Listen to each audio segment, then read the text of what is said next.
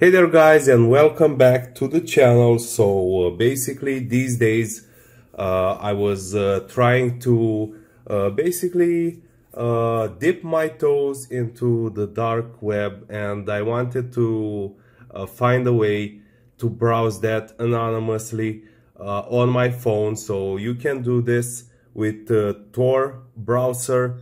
So I have it right here, Tor project uh, it's called this app. So with this you will be able to uh, browse the dark web and uh, visit any website that you are interested in that it's uh, not available on the normal internet. So let me delete this app and let me show you how I was able to get it.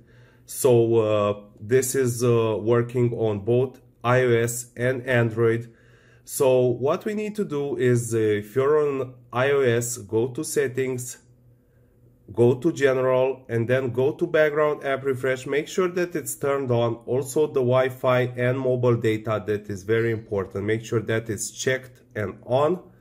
If you're on uh, Android, you don't have to do anything. So now open up your browser and type in Tweakmate.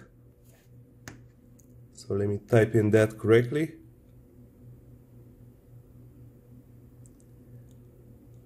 Okay guys, so it's Tweakmate. This is the one.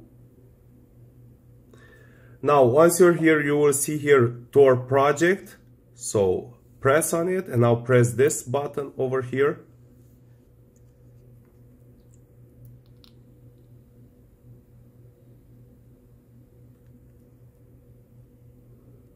Let's wait for this uh, bar to finish loading. So it will take a few uh, seconds okay so this is uh, this was the way uh, that uh, I was able to get Tor uh, browser.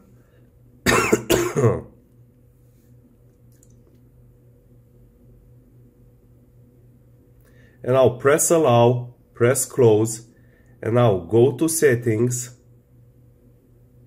Okay so go back to settings go to general again scroll down go to VPN and device management.